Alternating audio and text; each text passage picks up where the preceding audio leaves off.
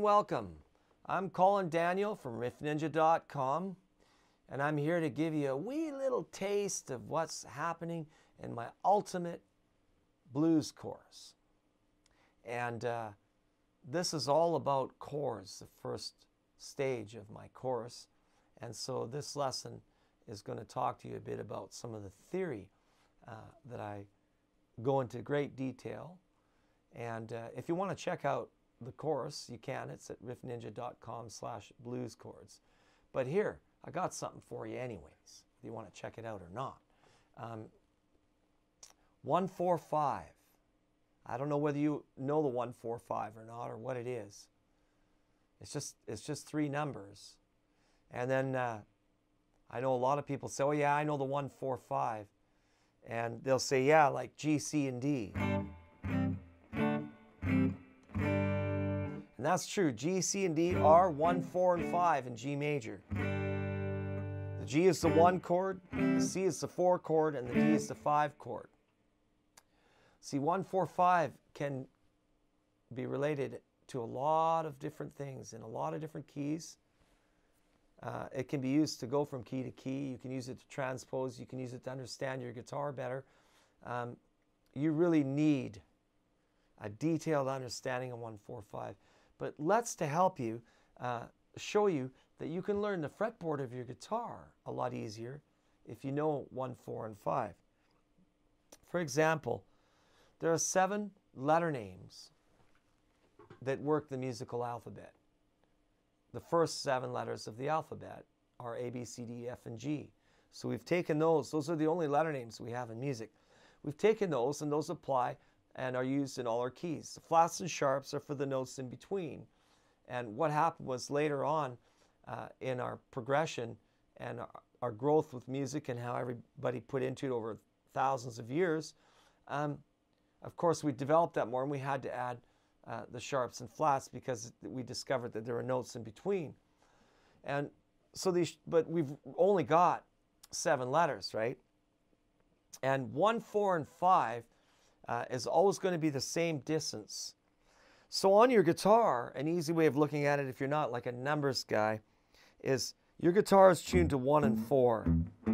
Four is, represents the perfect fourth distance or interval. So if E is one, A is four. If A is one, D is four. And I'm talking about open strings right now. But that means wherever you go on the fretboard, you've got a one and a four. So if you can get this pattern, you got one, four, and five in every key, and that gives you chord roots, scale roots, and it also helps you learn the notes on your guitar. My suggestion is you learn the uh, seven basic keys, the one, four, five in the seven basic keys. That'll help you a lot. Um, this is what we're going to do. I'm going to take it in the key of A. Uh, now that's not A minor or a major because 1, 4, and 5 are universal to both. So there's my A on the 6th string, 5th fret. Right across from it is my 4 on the 5th string, 5th fret. So if this is A, my D is going to be 4, and two frets up, a tone up, is going to be my 5, which is E. So I've got A, D, and E. I mean, how many times have you seen A, D, and E chords, right? Well, now we have the A, D, and E roots here. That gives you the root, and it's the octave. Now, an octave is important too because it's the beginning and the end of beginning of one scale.